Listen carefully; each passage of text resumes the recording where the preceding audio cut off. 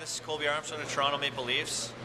At Maple Leafs doesn't have time to follow everybody back, so just relax, but they're going to do their best, okay?